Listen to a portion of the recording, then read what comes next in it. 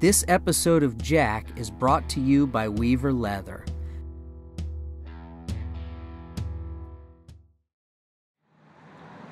This week I'm on the road traveling, and we're going to go ahead and do a review and answer a question that came in after last week's episode.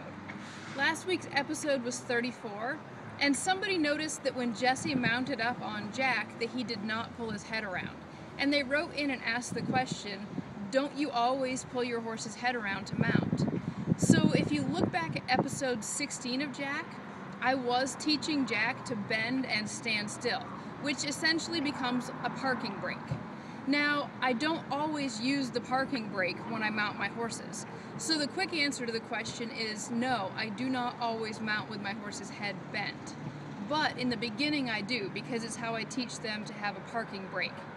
Just like when I'm parking my car, sometimes all I do is simply put it in park and I expect it to stay still.